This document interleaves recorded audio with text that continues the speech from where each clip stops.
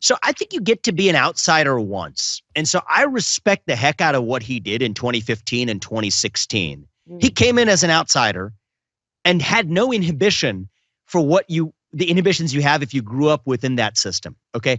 So I can't tell you what my situation will be after one or two terms in office, but I will tell you I don't have any of those inhibitions today. The swamp has not drained me yet. Okay.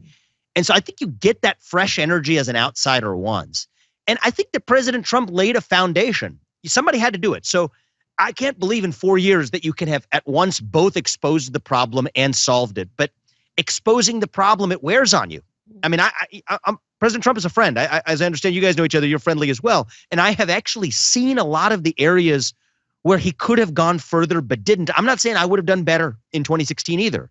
But against the backdrop of learning from that foundation and having fresh legs to and and and the lack of inhibition to actually address the problems, there's a reason why I'm the only candidate willing to talk about ending affirmative action. Hmm. I'm the only candidate willing to talk about abandoning the climate cult. I mean, these are two of my top priorities. Shutting down the Department of Education. A chief executive can actually do this.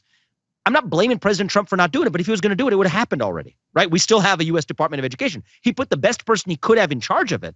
This is about taking that to the next level. I think he could make for a legendary presidential advisor because, unlike the other advisors who themselves are creatures of the so called swamp itself, you want somebody who actually had the experience of trying, having had some successes, and then having had some failures along the way. The next time you have an Anthony Fauci who, or Merrick Garland or uh, James Comey or whoever, you got to do what the Constitution empowers you to do. You fire them. You fire the managerial industrial complex around them, the legions of people under them.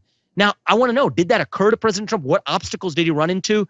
Great. Arm me with that. But I've got fresh legs. I've got no inhibitions. I don't care if somebody's going to, I think you're going to have a tough time calling me a racist or a white nationalist or whatever, but even, I'm sure that will come too. You know what? We need to be the party, the GOP, that nominates the outsider. I think that should be the tradition. Let the Democrats be the party of the professional politician.